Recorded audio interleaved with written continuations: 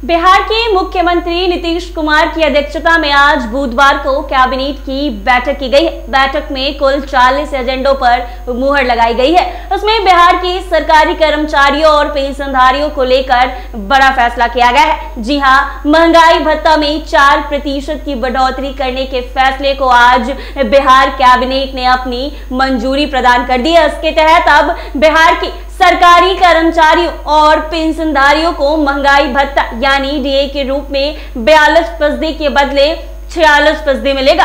वित्त विभाग से जुड़े दो अहम फैसलों में नीतीश कैबिनेट ने केंद्रीय पुनरीक्षक वेतन संरचना में वेतन पेंशन प्राप्त कर रहे राज्य सरकार के सरकारी सेवकों पेंशन भोगियों और पारिवारिक पेंशन भोगियों को दिनांक एक सात दो के प्रभाव से 42 प्रतिशत के स्थान पर 46 प्रतिशत महँगाई भत्ता राहत की स्वीकृति के संबंध में से अपनी स्वीकृति प्रदान की, यानी बिहार के वेतन पेंशन प्राप्त कर रहे राज्य सरकार के सरकारी सेवकों और पेंशन भोगियों पारिवारिक पेंशन भोगियों को 1 जुलाई 2023 से ही महँगाई भत्ता 42 प्रतिशत के स्थान पर 46 मिलेगा। वहीं वित्त विभाग नियंत्रणाधीन राष्ट्रीय बचत कार्यालयों में वर्तमान में पदस्थापित एवं कार्यरत लिपिकों एवं कार्यालय परिचारियों को जिला समाहरणालय में समान पद पर समायोजित करने हेतु वित्त विभाग को प्राधिकृत करने एवं राष्ट्रीय बचत कार्यालय का परिसमापन करने के संबंध में भी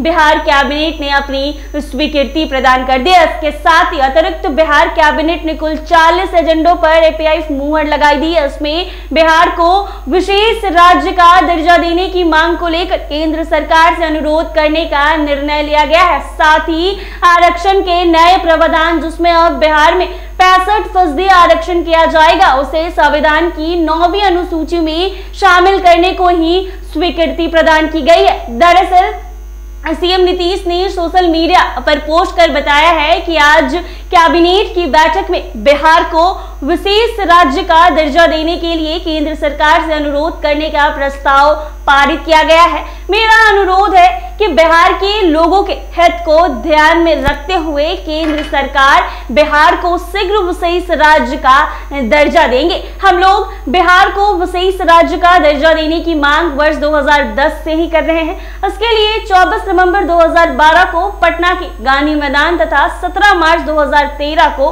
दिल्ली के रामलीला मैदान में बिहार को विशेष राज्य के दर्जे के लिए अधिकार रैली भी की गई थी। हमारी मांग पर तत्कालीन केंद्र सरकार ने उसके लिए रघुराम राजन कमेटी भी बनाई है, जिसकी रिपोर्ट सितंबर 2013 में प्रकाशित हुई। परंतु उस समय भी तत्कालीन केंद्र सरकार ने उसके बारे में कुछ नहीं किया। मई 2017 में भी हम लोगों ने विशेष राज्य का दर्जा देने के लिए केंद्र सरकार को पत्र लिखा था, लेकिन अभी तक इस पे कुछ नहीं हो पाया। वही बता दें कि आज नीतीश कुमार की कैबिनेट की बैठक में विशेष राज्य के दर्जे की मांग के साथ साथ 40 एजेंडों पर मुहर लगाई गई है। ऐसे ही तमाम अपडेट्स के लिए बने रहे एनबीसी 24 पर।